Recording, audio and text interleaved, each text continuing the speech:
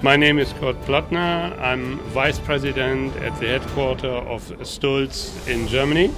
We see this award and especially this category as an opportunity to pay tribute to the best of the best in this category and as an encouragement to look at further improvements on efficiency and availability.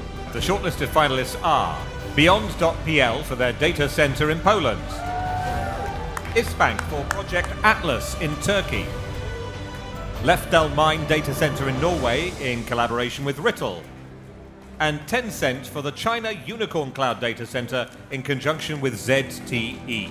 The winner in this category is ISBank for Project Atlas in Turkey. We are the biggest bank in Turkey. Yes. So and we, we are pioneers in lots of things uh, in the technology part. So again, uh, this is uh, this is one of the uh, first things we, uh, we achieved as this bank. So we are very happy uh, to get this uh, award.